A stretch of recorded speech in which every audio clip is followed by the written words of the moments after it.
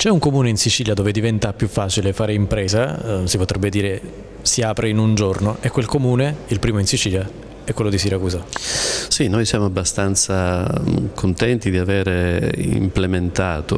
questo sistema informatico che consentirà finalmente alle imprese e a tutti gli intermediari, mm, per intenderci i professionisti piuttosto che le organizzazioni professionali, di lavorare da un terminale, quindi di evitare il cartaceo, di andare negli uffici se questo non è strettamente necessario, diciamo così, tutto avverrà in via telematica.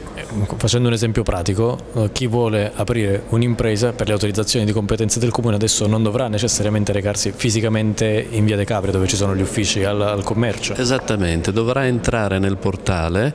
e attraverso il portale potrà compilare tutti i documenti, ma non solo non dovrà più andare in via De Capri, ma non dovrà più andare in nessuna delle amministrazioni pubbliche coinvolte eventualmente nel procedimento. Sarà il sistema che in qualche modo reindirizzerà la sovrintendenza piuttosto che all'ASP, piuttosto che ai vigili del fuoco tutte le pratiche, è una grande innovazione sotto il profilo, è una piccola rivoluzione. Sburocratizzazione, cito la sua rubrica, anche questo è sviluppo economico. Anche questo è sviluppo economico, quello che chiedono le imprese naturalmente la semplificazione, di avere un in, uh, rapporto con la burocrazia molto più semplice, molto più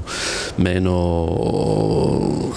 bloccante, se posso usare questa espressione, diciamo così, perché naturalmente crea intralcio, perdita di tempo, costi.